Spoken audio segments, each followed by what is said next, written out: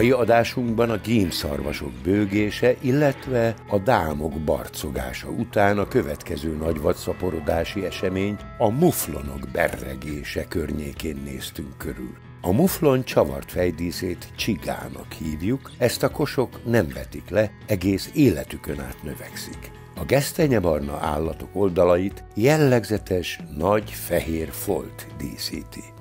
A muflon betelepítés útján került Magyarországra, Szardínia és Korzika sziklás hegyein tekinthető őshonosnak. Ma csak nem valamennyi középhegységben, elsősorban a déli kiterjedésű ritkás erdőkben fordul elő, helyenként kifejezetten gyakori.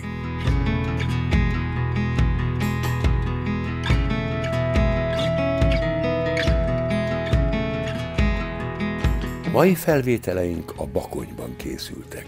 A legerősebb kosok a Budai hegységben, a Cserháton és a Mátrában élnek. A muflonok nyáron legelésznek, de télen az etetőkön is megjelennek.